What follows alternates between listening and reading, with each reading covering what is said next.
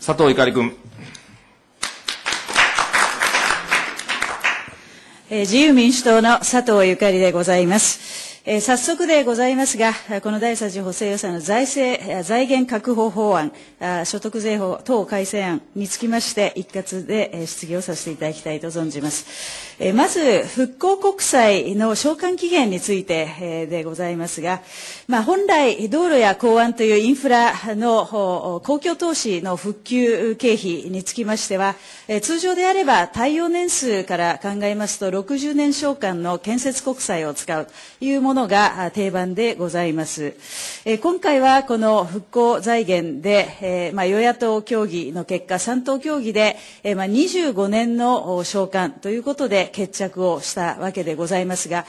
もともと自民党は、やはりこれはインフラ投資であるという性質上、60年償還でやるべきであるということを主張してまいったわけでございます。あ、の従来ですね、この最近税制改革の、まあ、抜本的な流れといたしましても、まあ、社会保障の例が一つの良い一例でありますが、受益者が応分の負担をしないと。まあ、いわゆる受益と負担の乖離の問題、これについて税制上、是正をいかに行うかというものが一つの大きな課題になっているわけでございます。まあ、インフラ投資は耐用年数60年という定番の解釈でいきますと、広い世代にわたって受益者が現れるわけでございまして、それに対して応分の負担ということであれば、やはり、税制上、財政上の観念からも60年償還というものが極めて適切な考え方であるというふうに、思われるわけでございますが、その受益と負担の関係からあえて逸脱する形で、えーまあ、当初政府は10年と言っておりましたが、25年に償還期限を決着をさせた理由をお聞かせください。安住財務大臣。はい、あの後であの提案、修正理由の説明者の方からも答弁をいただければと思いますけれども、戦後あの、この60年のルールというのは、戦後最初の建設国債を発行する段階で、橋や当時の道路のこの耐用年数をいくらぐらいに見積もるかということで、まあ、60年というのを一つの基準にして、まあ、この建設国債等の発行が行われたと私聞いております。確かに先生ご指摘のようにですね、今回のその大震災は、えーインフラというものが破壊された例が非常に多ございますから、復興に関して、この建設国債を充てるべきだという議論が、非常にあったということは、私もあの事実でございますので、十分承知しております。ただ、目下の我が国の財政状況等を勘案したときに、この今のこの大震災にかかる経費等については、できるだけ、この負担を現役世代で分かち合って、まあ、いわば区分管理をすることによって財政上の、まあ、負荷をかけないであろうということを前提に、まあ、スタートをして、まあ、所得税と法人税に、まあ、あの負荷をお願いをしたと。えーしかしこれ結果的にですね、えー我々が最初10年と申し上げましたのは、復興期間が10年ということなので、まあ、できるだけ短くというふうに思いましたが、与野党協議の中で特に自民党の方から、まあ、その課税の平準化等を考えれば、やはり25年等にして、そうなると所得税の負担割合は平均2.1%になると。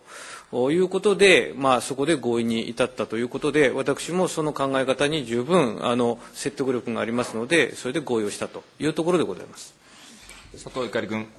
まあ、あのこの基本的な償還期限の問題はですね、あのまあ、民主党のその修正提案者の方にお答えいただかなくても、まあ、財務大臣でご答弁は十分だと思いますが、まあ、要はこの東日本大震災で建設国債を発行しないことによって、えー2.1%ポイントですね、えこの所得税に対しても上乗せがかかる。えこれが例えば和歌山で起きたような水害、大洪洪水のあの集中豪雨のですね、え水害の場合には通常の建設国債で60年償還で行うわけでございまして、えーこのあたりの負担の不公平というものをですね、どう解釈化するかというときに、え非常にその国民的な説明をしづらいということがあると思います。その点はいかがですかなぜ地域によってこの償還期限が違うんでしょうか安住財務大臣。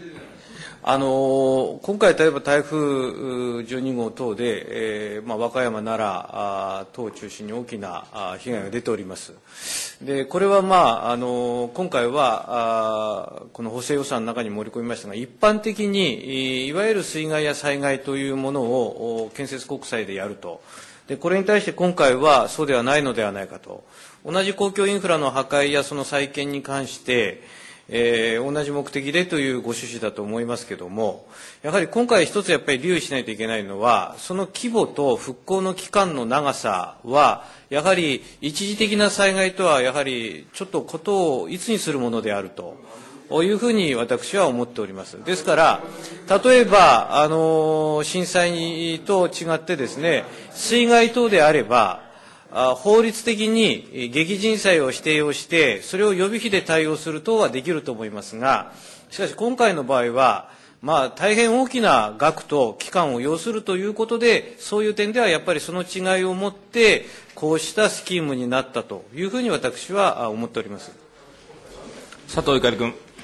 まあ、あの、千年に一度の大震災でありますので、えー、むしろ期間短縮よりはですね、期間を延長して国民負担をできるだけ避けるということが第一優先されるべきでありまして、そのためにはあえて増税しなくてもいろいろな実は対処策というのはあるんですね。まあ、ここではあえて細かくは申しませんけれども、あえて増税を短縮化するという選択を選んだということはですね、やはりある程度、え国民にきちっと理解を求める作業、それができているのかというのが問題だと思います。そこで一つ指摘をさせていただきたいと思いますが、この合意になりました25年償還ですけれども、実はですね、これも十分な国民的理解がなされていない。まあ、大方の国民の方々はですね、これを聞いて、マスコミ報道もご覧になられて、あ25年償還なんだと、そのように受け止めているわけであります。え実際蓋を開けてみるとですね、1年償還の復興国債もありまして、最長で25年償還であると。ですから1年償還のものもあるわけでありまして、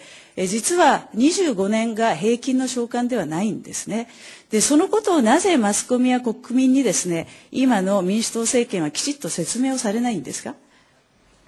安住財務大臣。発行する国債の種類は様々でありますから、あの、それは全くご指摘の通りかもしれませんが、トータルで言えば、復興債の発行に基づく支払いをきちっと25年でやっていくという趣旨では十分説明はしていると思います。ですから25年ものの国債を発行するわけではなくて、さまざまな種類の国債を、これは市場の関係がありますから、そうならざるを得ませんが、しかしその発行分の裏打ちとなる財源を25年で払うということでございます。佐藤ゆかり君。やはりですね、あの、税負担をするのは市場関係者だけではありません。専門家ではないんですね。ですから、我々の法人税が来年から3%ポイント上乗せされる、あるいは所得税が25年から2.1ポイント上乗せされる、そういう一般の国民の方々から見てですね、その償還が1年で実は我々の税金が使われるんだということをですね、もう少しはっきりおっしゃって、これだけ前倒しで増税をしているんですよという事実をですねですね、つまびらかにするべきではないかと思いますが、大臣、もう一度いかがですか？安住財務大臣。あの、償還にかかる、いわゆるその税負担の部分をしっかり説明をすれば、私はそれによって、まあ、収支のバランスというのは取れると思います。えー、ですからそういう点ではですね、あの、国債の区分を市場の皆さんから見れば、あの、ご存知の通り、建設国債なのか、あの赤字国債なのか、まあ、この復興債なのかということをよくわからないということはもう全く事実でございますけれども、その分の見合い財源を確保することで、国民の皆さんには十分私は理解していただけると思っております佐藤ゆかり君。まあ、これはあのどのぐらい理解をいただいているかというのは主観的な部分がありますからこれ以上、まあ、あの進めても仕方がないんで次の話題に移りたいと思いますが実はあのこの復興財源、えー、ですけれども、えー、復興国債はですね向こう5年間発行が可能であるという法案の内容になっております。ですから今回の第3次補正予算の財源のみならず、えー、場合によってはその第4次補正予算の余地も残されているような条文の書き方でありますしまたた来年度以降も復興の経費については、あその適用のこの条件を満たしている経費についてはですね、復興国債が、まあ、来年度も含めて5年間発行が可能であるという法案になっているわけでございます。しかしながら、この発行は5年間可能であるけれども、財源についてはですね、今回は第3次補正予算で使うもののみ、